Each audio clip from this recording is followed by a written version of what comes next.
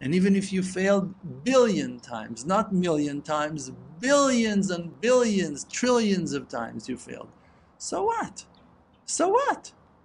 So make a new start and start working. Do you want to succeed or you want to melt and cry and be broken? No, me, you don't know what I went through. Come on, we all went through that.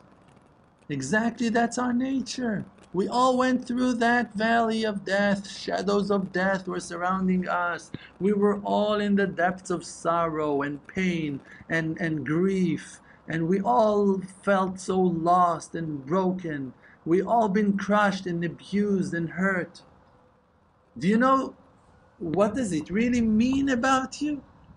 That you went through so much in life and you're still holding on?